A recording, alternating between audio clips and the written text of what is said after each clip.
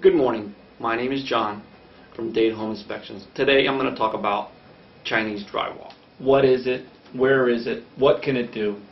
And how can you find it? The way to find it is to call us. We come out and we do an inspection for you, and we'll find your home if you have Chinese drywall in your home. We have this little camera right here where we'll cut a little hole in and we'll look for the labels on there to see if the, there's Chinese drywall. Chinese drywall is material that they made, it was between 2003 and 2008.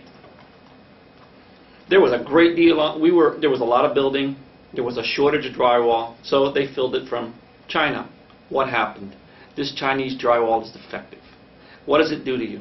It causes you health problems, it corrodes your electrical, and it messes up your house. If you look at the electrical system on a house that has Chinese drywall, it looks like it's 30 years old because it smells like rotten eggs. You walk in, and we walk into a home usually with a Chinese drywall, and we can smell that it has it.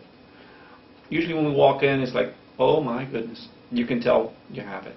You don't want people to have it, but you can tell. Another way that we can tell that if you have Chinese drywalls, we'll pull out your electrical outlets and we'll pull them out and we'll look and see if the copper's corroded.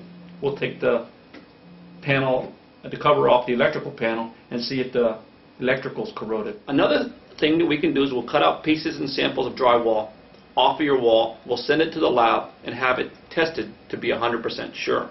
But if you're buying a home, you don't want to go through the expense of cutting out a wall and paying the lab fees because you, first of all, you don't own the home. Second of all, they probably won't want you cutting holes in their wall, especially if it doesn't have it.